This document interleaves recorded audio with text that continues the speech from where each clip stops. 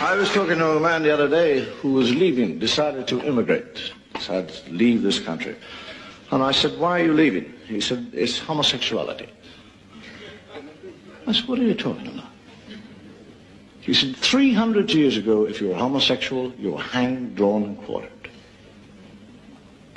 A hundred years ago, if you were homosexual, you were hanged. 50 years ago, if you were homosexual, you were flogged and given 20 years in prison. 20 years ago, if you were homosexual, you were fined 200 pounds and sent to prison for two years. Five years ago, if you were homosexual, you had a small fine and you were pardoned. Got off with a warning. I said, well, what are you leaving for? He said, I'm going before they make it compulsory.